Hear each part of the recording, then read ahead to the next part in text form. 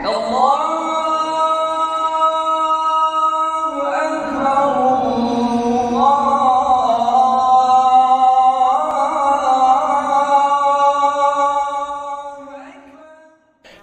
آزان از بلندگوهای مسجد بزرگ شهر کلن آلمان از چند هفته به این سو اجازه پخش صدای آزان در چاشت روز جمعه به بزرگترین مسجد در شهر کلن آلمان داده شده است.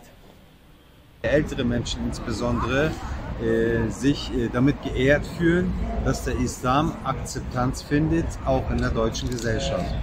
Und äh, für uns als Religionsgemeinschaft der DITIB ist es natürlich was Besonderes an der Zentralmoschee Köln, die ja äh, eine sehr schöne Moschee auch in Deutschland ist, mit vielen, vielen Gemeindebesuchern ähm, uns für eine sehr große Freude war, äh, weil wir halt auch eine sehr bunte Gemeinde haben. Das heißt, wir haben zum Freitagsgebet hier ungefähr immer 1500 bis 2000 Menschen.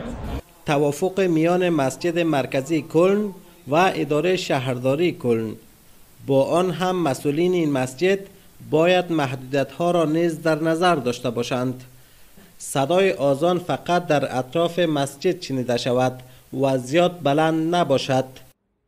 این مسجد متعلق به ترک های ساکن آلمان و زیر نظر اتحادیه امور دینی ترک اسلامی در سال 2017 بنا شد و میلیون ها یورو برای ساخت آن به مصرف رسیده است. مسلمانانی که در آلمان زندگی می کنند از این که می توانند صدای آزان را بشنوند خوشنود هستند.